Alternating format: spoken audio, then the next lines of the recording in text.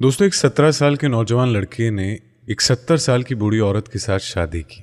अब इस लड़के ने सत्तर साल की बूढ़ी औरत के साथ में शादी क्यों की? और शादी के बाद में इस नौजवान लड़की के साथ में उस बूढ़ी औरत ने क्या किया? ये जानकर यकीनन आप भी हैरान रह जाओगे। इसलिए आज की ये वीडियो आप सभी के लिए बहुत खास है। आप इसको आखिर तक ज़रूर देखिएगा। वीडियो अच्छी लगी तो वीडियो को दिल से लाइक करें, शेयर करें, ताकि और भी लोगों के पास में ये वीडियो पहुँच जाए। तो चलिए बिना किसी देरी किए इस वीडियो को शुरू करते हैं। दोस्तों, आज जो सच्चा वाक्य हम आपको बताने वाले हैं, ये वाक्य सऊदी अरब के हुकूक शहर में देखने को मिला है। यहाँ पर अब्दुल करीम नाम का एक लड़का अपनी कॉलेज की पढ़ाई पूरी कर रहा था। अब्दुल करीम सत्रह साल का एक नेक और परहेजगार लड़का था, मगर इसके माँ बाप बहुत ही ज़्यादा गरीब थे। इसी वजह से लड़का स्कॉलरशिप की बेस पर अपनी पढ़ाई पूरी कर रहा था। एक बार किसी रिसर्च के लिए कॉलेज लड़कों का एक ग्रुप कहीं बाहर जा रहा था। उनमें अब्दुल करीम भी साथ में था। लड़कों का एक ग्रुप शहर से दूर एक गाँव में पहुँचा और अपने रिसर्च पर काम करना शुरू कर दिया। अब जिस जगह पर वो रिसर्च कर रहे थे, वहाँ पर अब्दुल करीम की नज़र एक बूढ़ी औरत पर पड़ी। बूढ़ी औरत को इस उम्र में भेड़ बकरियाँ चराते हुए देखकर अब्दुल करीम को बड़ा अजीब सा लगा, यानी कि उसके दिल में रहम सा आ गया और वो सोचने लगा कि ये औरत इस उम्र में ये सब क्यों कर रही है? आखिर इसके सामने ऐसी कौन सी मजबूरी होगी कि जिसकी वजह से ये इस उम्र में इस मुश्किल काम को कर रही है?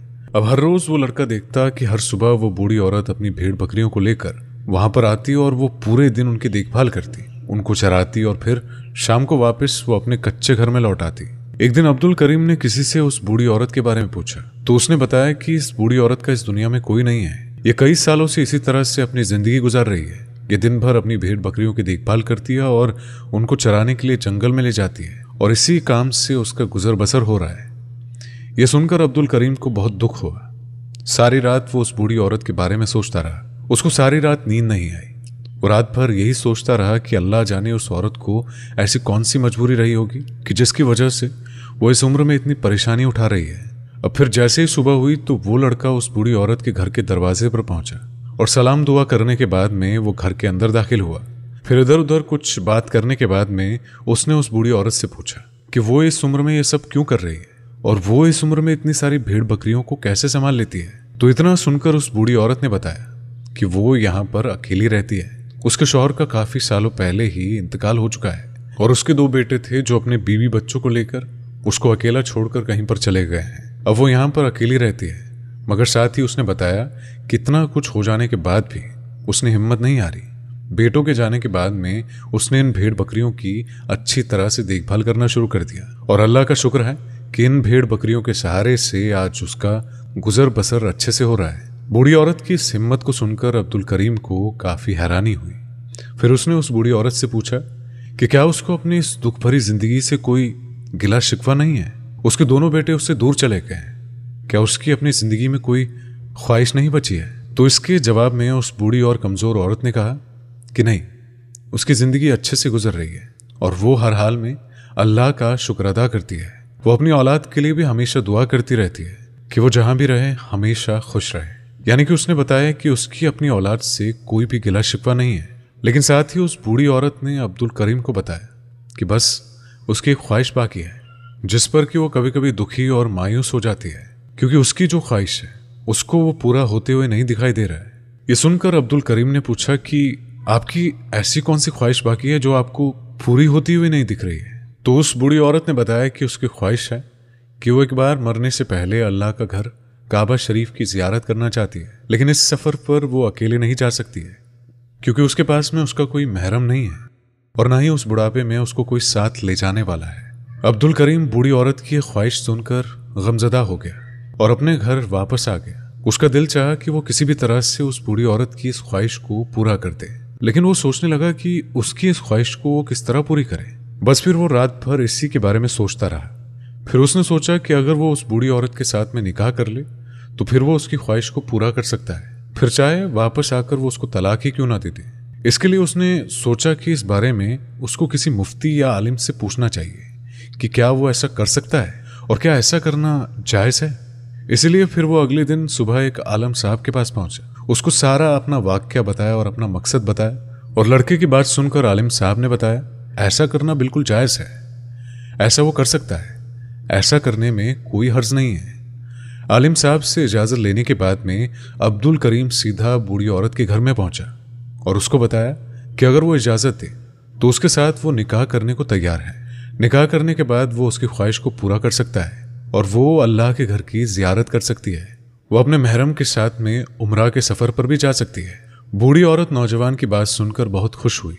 वो निकाह करने के लिए राज़ी हो गई उसके बाद फिर अब्दुल करीम ने उस बूढ़ी औरत के साथ में निकाह कर लिया और निकाह नामा बनवा लिया। फिर उस बूढ़ी औरत ने उस नौजवान को कुछ पैसे भी दिए और बताया कि वो इन पैसों को इसी मकसद के लिए जमा कर रही थी। उसके बाद फिर वो दोनों उमरा के सफ़र पर मक्का और मदीना पहुँच गए। इसी वजह से दोस्तों, अब्दुल करीम ने कुछ इस तरह से उस बूढ़ी औरत की इस ख्वाहिश को पूरा कर दिया। वो उसको अपने साथ में उम्र के सफ़र पर ले गया। उसको अल्लाह के घर की जियारत करवाई, उम्र अदा करवाया। उसके बाद फिर वो दोनों वापस आ गए। वापस आने के बाद में लड़के ने बूढ़ी औरत से कहा कि अब उसका मकसद पूरा हो गया है। अब अगर वो चाहे तो उसको तलाक दे सकता है। लेकिन इस पर बूढ़ी औरत ने कहा कि इसकी कोई ज़रूरत नहीं है, वो उसको तलाक ना दे, बल्कि वो उसको ऐसे ही छोड़कर वापस चला जाए और जाकर अपनी पढ़ाई पूरी करे। साथ ही बूढ़ी औरत ने उस लड़के से कहा कि मेरी ज़िंदगी की सबसे बड़ी ख्वाहिश तुम्हारी वजह से पूरी हुई है। तुम्हारी वजह से मुझे इतनी खुशी मिली है। इसीलिए वो हमेशा उसके हक में दुआ करती रहेगी। तो इस तरह से फिर वो लड़का बूढ़ी औरत से दुआ लेकर वापस अपने कॉलेज आ गया और अपनी पढ़ाई पूरी करने लगा। कॉलेज में उसके साथियों ने उसे हँसी मज़ाक में पूछा कि वो कहाँ पर था तो उसने अपना पूरा वाक्य बता दिया। उसके साथी कहने लगा कि जैसा वो सोच रहे हैं, वैसा बिल्कुल नहीं है। उसने सिर्फ़ उस बूढ़ी औरत की ख्वाहिश को पूरा करने के लिए ऐसा किया है। खैर, उसके बाद में दो साल का वक्त गुजरा और अब्दुल करीम की पढ़ाई पूरी हो गई। तो ऐसे में फिर उसको उस बूढ़ी औरत का ख्याल आया। उसने सोचा कि उसको उस बूढ़ी औरत के पास जाकर उसकी खैर खबर लेनी चाहिए। और बस यही सोचकर वो लड़का फिर से उस गाँव की तरफ़ चल पड़ा। जब वो उस बूढ़ी औरत के घर के दरवाजे पर पहुँचा तो उसने देखा कि उसके घर के दरवाजे पर ताला लगा हुआ है। उसने फिर साथ वाले घर से इसके बारे में पूछा तो उन्होंने बताया कि इस बूढ़ी औरत का कुछ दिनों पहले ही इंतकाल हो चुका है। घर की चाबी और एक खत वो तुम्हारे नाम पर छोड़कर गई है। फिर अब्दुल करीम वो चाबी और खत लेकर घर के अंदर दाखिल हुआ और खत खोलकर पढ़ने लगा। उस खत में उस बूढ़ी औरत ने अब्दुल करीम का शुक्रिया अदा करते हुए लिखा था कि वो उसका ये एहसान मरने के बाद भी हमेशा याद रखेगी, क्योंकि जहाँ पर उसको अपने मरने पर छोड़कर चले गए थे, उसके बेटों ने कभी आकर उसका हाल तक नहीं पूछा था।